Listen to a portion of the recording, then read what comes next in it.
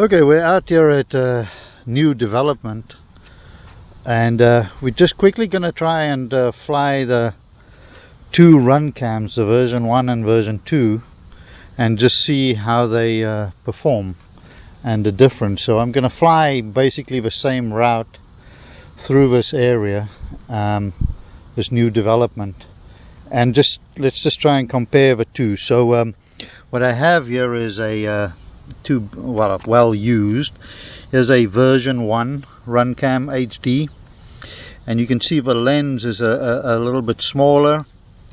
And um, you know it's been used but um, I've had this for a while. And and you know that's a version 1 and uh, the specs of a lens I'll put it in the in, in the comments. And then here's the version 2 which is exactly the same size except that um, of course it's got a much bigger lens on the front. And they've improved the lens quite a bit uh, between the two. So but how does that translate to actual flying video? Um, how does it look when it's flying? So let's uh, put them you know on, on the 180 quadcopter and fly them one at a time and I'll try and fly the same route through here.